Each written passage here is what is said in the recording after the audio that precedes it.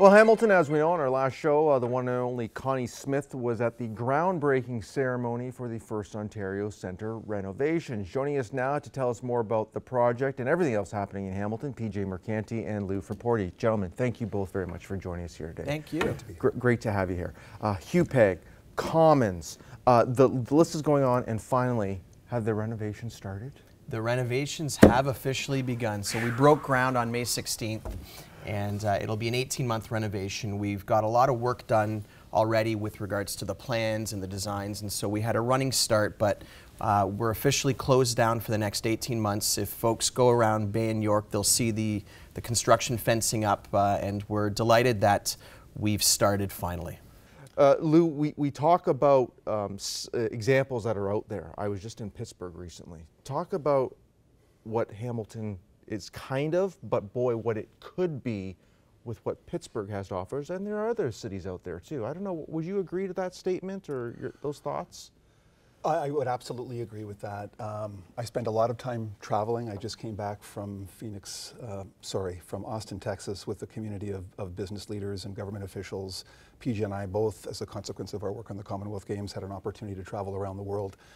Uh, there are a host of examples of communities that are thriving and prospering. In many cases, like Pittsburgh, that had a history of antiquated businesses and a suffering economy that have been able to transform themselves.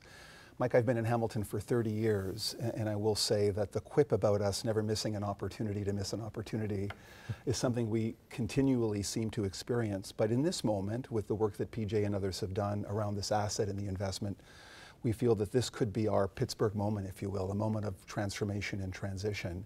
But a great deal depends upon whether we can all work together to solve some really difficult problems in order to achieve that goal. Well, PJ, uh, Lou just hit the nail on the head there. Can we all work together? And, and I think we know what you mean by all when we look at our, our council and, and those people that are involved it, it's and of course then we're dealing with our uh, you know the Twitter hackers and all this stuff mm -hmm. too. It can be touchy sometimes. How are you managing these eggshells right now and, and, feedback and what we're trying to do to build this great city. One of the values of HUPEG has been that of collaboration, and and you know we are intentional about that. And one of the reasons why there's been a delay with the project that we're delighted is now um, you know obviously happening is we wanted to bring the world's best to the table to be partners with with HUPEG, and so we're proud that Oakview Group and Live Nation are at the table as partners with us. We're we've got a great working relationship with City Hall council and staff, and we want to bring other players to the table to have conversations about how we can really level up the investment in both the assets and the community um, interactions around the facilities. So having everybody at the table, having as many voices as possible, contributing to that conversation, I think will result in a more meaningful outcome for everybody. But we have been hyper focused on partnerships and having the right types of partners at the table to help magnify the investment for the community. And of course, uh, Lou, those relationships, th they take time to, to build, to, to get everyone on that same page as PJ mentioned too, and, and start to talk the same language to, to the masses. Right. Well, they do, and, and of course, so much of that is about uh, creating trust. Uh, and that's a very difficult thing to do socially, generally today, for the reasons that you've touched on, Mike, whether it's social media, uh, or, or, the focus on narratives rather than substance. You know, when we grew up, I think we were all aware of the wisdom that it's not what you say, it's what you do. Mm -hmm. And so doing, in PJ's case and in the case of the other business leaders are, uh, who are involved, doing is now critical. What exactly are we going to do and can we demonstrate the ability to lead and succeed? And I'll, and I'll make one comment. I think PJ alluded to something which is not generally understood and which we're quite anxious to communicate around and that is that the private sector partners uh, that one can incent to come into a community are often decisive in determining the future of the community. The great transformation stories, uh, civically in the US particularly, have been about creating an environment that's conducive for investment. Right? Do you, you want to be able to incent risk takers to deploy their capital, bring that energy. And PJ's success in um, attracting the Oakview Group and Live Nation to this community uh, is going to be, we think, a decisive moment in the city's history. Why? Because the creative industries, particularly in music, which is going to be the focus of the facilities, are massive catalysts and accelerators of economic investment.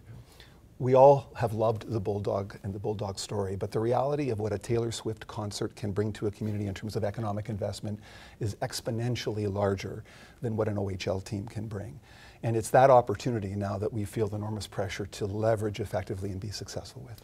And, and, and you mentioned uh, a Taylor Swift Eras tour, for example, we know it's going to Toronto, um, but the, and that economic buildup additional hotels are going to be required in our great city as we continue to evolve. See hotels down there. We're getting hotels up at the airport.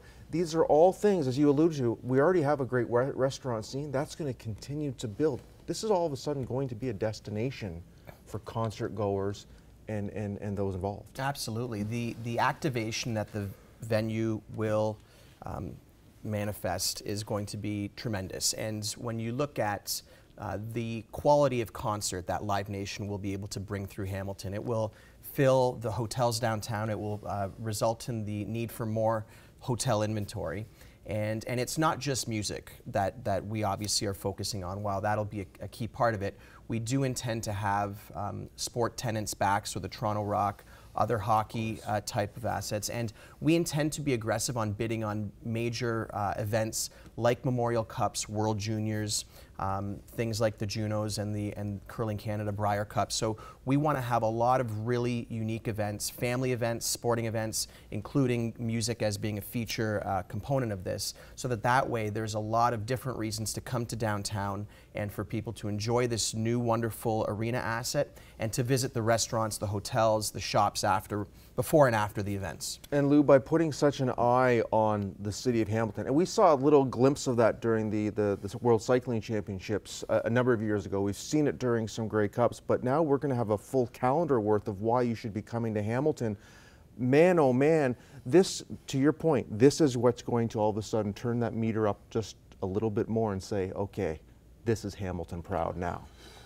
Mike, it can, and we hope that it will, but it's all going to come down to execution in the end. And I would take issue with one thing you, you mentioned a moment ago, and that is referencing our thriving hospitality industry. In fact, it's not really thriving. Uh, our retail, restaurant, and hospitality industry, particularly in the downtown core, has for a number of years really struggled. It struggled because of COVID and the lockdowns, inflation, all of the economic factors that confound really the entire country have been particularly hard felt in this city.